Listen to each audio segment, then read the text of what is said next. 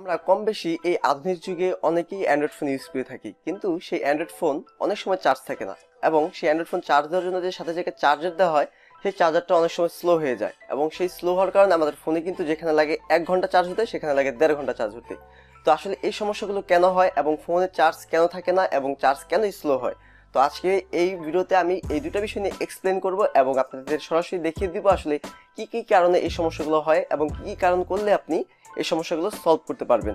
তো পুরো ভিডিও জুড়ে আছে আমি Himel from Himel three sixty যদি এখন আমার চ্যানেলটি সাবস্ক্রাইব না করে থাকেন, তাহলে please hit the subscribe button এবং অলরেডি সাবস্ক্রাইব করে থাকেন। Thank you so much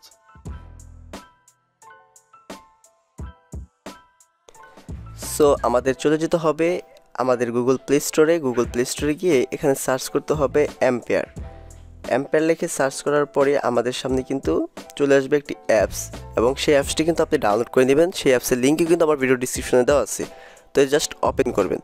তো ওপেন করার পর এরকম একটি ইন্টারফেস আসবে এবং এখানে আসার পর আমাদের ফোন তো এখন আমাদের চার্জ অবস্থায় নেই মানে চার্জার কেবল লাগানো নেই, তো দেখাচ্ছে স্ট্যাটাস ডিসকানেক্টেড এবং প্লাগ অন ব্যাটারি এবং আমাদের ব্যাটারির লেভেলটা এবং চার্জিং লেভেল আর কি মানে যেটা পার্সেন্টেজ বলি আমরা, সেটা হচ্ছে তিপ্পান্ন পার্সেন্ট এবং সেটার ব্যাটারি হেলথ কিন্তু দেখতে পাচ্ছি যে মোটামুটি একটা অ্যাভারেজ আছে গুড আর এটা টেকনোলজি লিপলি আর এখানে যে আমাদের ব্যাটারির যে এম্পিয়ার সেটা কিন্তু আমরা দেখতে পাচ্ছি।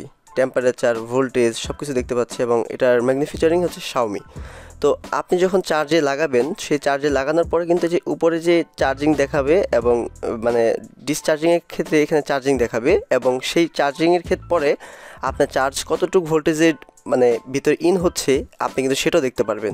এবং এখানে ম্যাক্স তিনশো নব্বই পর্যন্ত দেওয়া আছে। আর কতটুকু পর্যন্ত চার্জ হতে টাইম লাগে সেটা কিন্তু আপনি দেখতে পারবেন। তো আসলে এই অ্যাপসের মাধ্যমে আসলে জেনুইনলিভাবে বোঝা যায় যে আসলে আপনার ব্যাটারিটা কতটুকু হেলথ আছে বা আপনার চার্জার কতটুকু সময় চার্জ হচ্ছে, আপনি কিন্তু সেটা কিন্তু খুব ইজিলি দেখতে পারবেন। দেখতে পারলাম যে আসলে কী কী কারণে আমাদের এই ফোন চার্জ থাকে না এবং কী কী কারণে আমাদের ফোনে চার্জ স্লো ওঠে। তো আজকে কিন্তু আমি পুরো ভিডিওতে এটা এক্সপ্লেন করেছি। ভিডিওটি ভালো লাগে, অবশ্যই একটি লাইক করবেন। কমেন্ট করে জানাবেন কেমন লাগল এবং যে কোনো টেক রিলেটেড যদি সমস্যা ভুগে থাকেন, তাহলে অবশ্যই আমাকে জানাবেন কমেন্ট বক্সে এবং আমার মেল অ্যাড্রেস দেওয়া আছে, সেখানে জানাতে পারেন। ফেসবুক অ্যাড্রেস দেওয়া আছে, সেখানে আপনারা আমাকে নক করতে পারেন। এখন যদি যারা আমার চ্যানেলটি সাবস্ক্রাইব না করে থাকেন, তাহলে please hit the subscribe button তো দেখা হচ্ছে পরবর্তী আরেকটি নতুন ভিডিওর টপিক্স নিয়ে, সেই পর্যন্ত সকলে ভালো থাকবেন, সুস্থ থাকবেন। হ্যাঁ অবশ্যই আমার চ্যানেল সাথে থাকবেন। See you next time